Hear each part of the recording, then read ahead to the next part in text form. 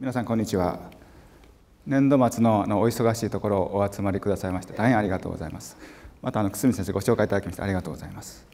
それから3人の先生方あのシンポジウム本当にありがとうございます。あのランプの状態が非常に悪いところで、えー、先生方にご発表いただいたこと本当に申し訳なく思っております。今あの直していただきまして少し明るくなりました。それからまだちょっと画面が横長で後で私の写真が出てくるんですけど見かける太って見えるかもしれませんが、まあ、その点あのお許し願いたいと思います。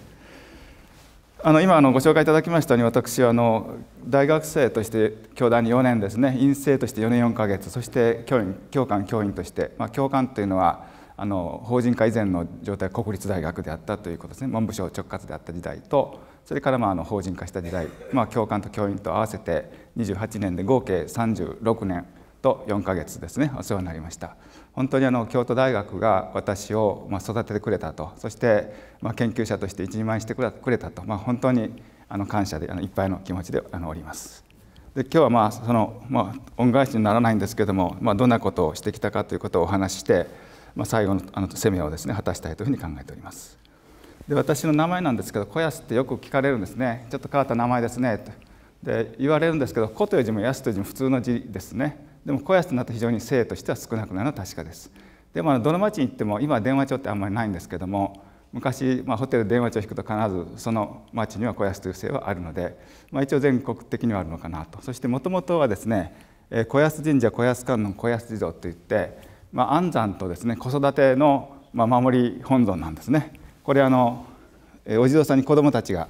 あのまつわりついておりますけれどもこういった形で、まあ、子どもを守るというあの働きをする、まあ、神様であったり仏さんであったりというので、まあ、この姓ではですね多分産婦人科やるか発達心理学者やるかどっちかがいいと思っておりまして私は後者を選びました。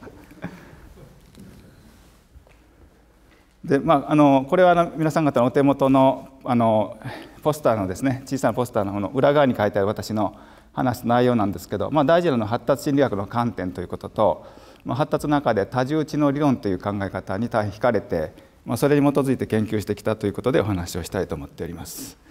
でまず、えーまあ、デザイン学ということでこれは先ほど最初に石田先生にあの詳しいあのご説明いただきましたけども、まあ、デザイン学というものと出会ってですね、まあ、心のデザインということを考える、まあ、本当に生き返ったと思っておりますけれどもじゃあ心って一体どんなふうにデザインされているのかとかそのデザインとされた心っていうのはどういうふうにこう発達していくのか変化していくのかということをまあ考えてみたいというのが今日のテーマというふうになって、まあ、前半のテーマですね。で後半のテーマは私自身の心がじゃあどんなふうに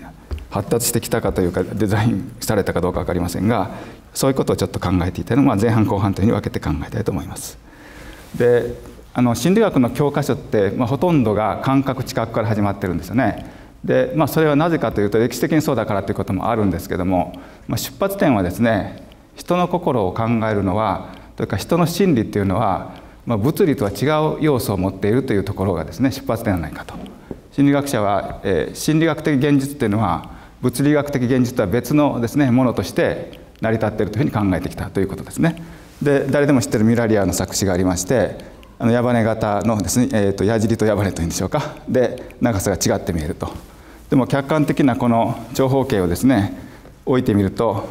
まあ、同じ長さであるということが分かる。だから物理的には等しいということは測れるんだけどもでもこう測った上でもですねこれを外してしまいますとやはりこう、えー、違いがあると感じざるを得ない。これがまあ心理的現実だということだと思うんですね。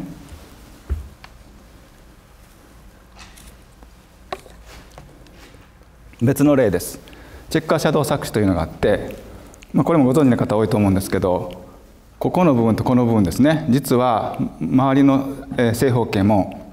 中の丸も同じ色なんですね。つまりこことこの部分が同じで丸同士が同じだと。で同じであることの証明をするためには周りの部分を取ってやればいいんですね。周りの部分を取ってやります。取っていくとこれ大体同じって分かりますよね。ですから本当は同じなんだけどでも先ほどのように見せられたらやっぱり違うと感じざるを得ない。これが心理的現実ということなんですね。つまり、えー、物理的現実と心理的現実のズレがあるということはやっぱり心というものはどっかにあるんだということなんです。でもそういう心というものは見えないわけですね。そういう見えない心って一体どういうふうにこう我々は調べていけばいいかということですね。目にははっきり分からないけども心というものはあるんだということになります。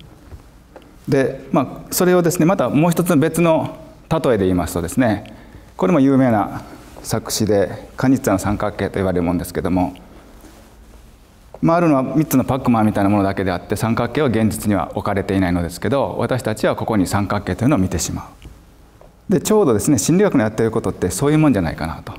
心という見えないものに対して周りに何かを置いていくそれは観察であったり実験であったり調査であったりあるいはテストであったりいろんな方法を使いますけれどもそういう周りに何か置くことによって心というものをですね浮かび上がらせたいということが、まあ、心理学者がやってきたずっとやってきた事柄ではないかというふうに思っています。別の言い方をします。心という目に見えないものを取り上げる時にですね私はあのメタファーということの関心がですねずっと昔からあるんですけどメタファーというのは何か分からないものがあった時に分かるもので表現するということも一つの重要な機能なんですね。ですから心という分からないものがあった時にそれは物に例えてみると例えば心が重いとか軽いとかですね。あるいは明るいとか暗いとか広いとかこの人は心が広い人だとか狭い人だとかあるいはもう心が弾むような気持ちだとか心が萎えてしまうとかですね、まあ、こういったことをいろいろ言いますけどもそれは物になぞらえて心というものを捉えているわけですね。だから心というわけのわからないものについて何かもっと分かるものでなぞらえてですね表すということ。これがメタファーの機能だというふうに思います。で私はずっとこういうメタファーを使っています。心というものは自動車に例えたらどうなるかと。それは、まあ、どっから見てもいいんですけどまずエンジンというものがある。エンジンが何かというとこれはストレートにそう言っていいのかどうかわからないけど感情のようなものですね。人を突き動かすようなもの。これがエンジンであると。そして今どこにいるかどこを走っているかこれからどこを走ったらいいかというのはカーナビにあたるこれは認知ですね。そしてもう一つは速く走らせるためのアクセルと止まるためのブレーキというですね。こういう働きを車が持っていると同じように私たちの心もですねこういった4つの働きを持っているのではないかということです。ただこの4つをですね2つに整理してみたいと思うんですね。一つは感情と認知という拮抗する作用であるということですね。でもう一つは後で言います。えー、妄想と検証というですね2つの働きです。でホットとクールのシステムという言葉を使いますけれども、まあ、この辺りがあの大平先生のですね研究と随分関わりがあるところだと思うんですけれどもホットとクールというのは何かというとですねメタカラフとミッシェルの論文の中にこういう区分がしてあります。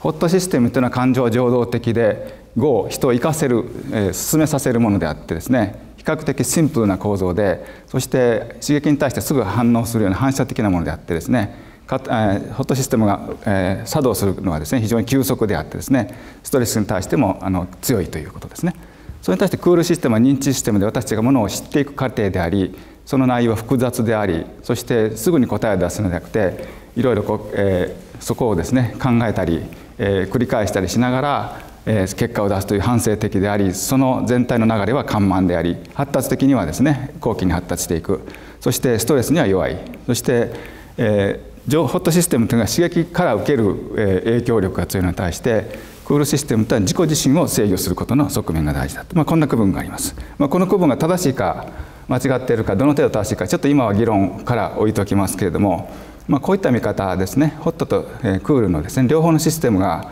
まあ、心を動かしているという見方が、まあ、あるわけですね。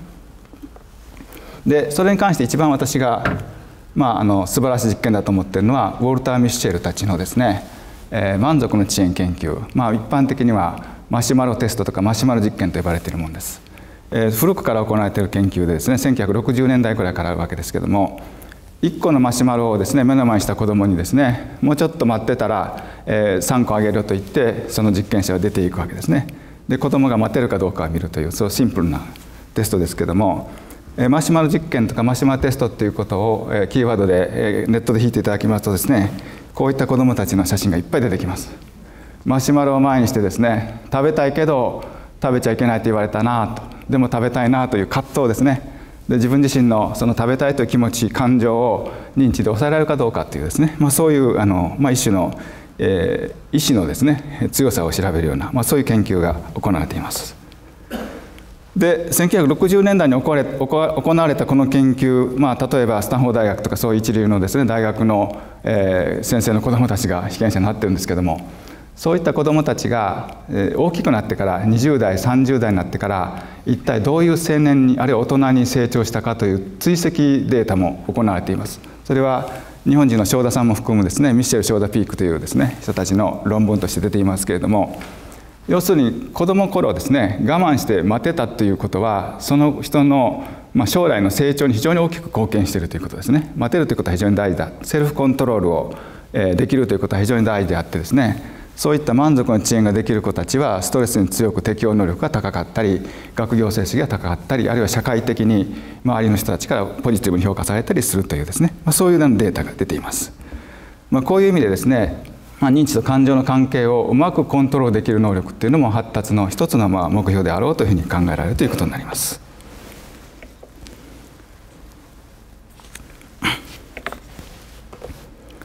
でもう一つのですね、えー、拮抗作用として私は、えー、妄想と検証というふうな言葉を言っています。えー、この妄想という意味はですね、えー、先ほども精神医学の方でお話がありましたけども、まあ、統合失調症で起こってくる妄想ですとかさまざ、まな病的な妄想というのもあるんですけども、まあ、もうちょっと平たく想像と言ったらいいんじゃないかと言われることもあるんですけど、まあ、想像には違いなんだけども、まあ、よからぬ想像であったりですねあるいはあ、まあ、本当はそんなこと考えてもしょうがないんだけどもですね、えー、ついつい考えてしまうような事柄であったりですね、まあ、そういったものをひっくるめて今妄想と呼んでるわけですね。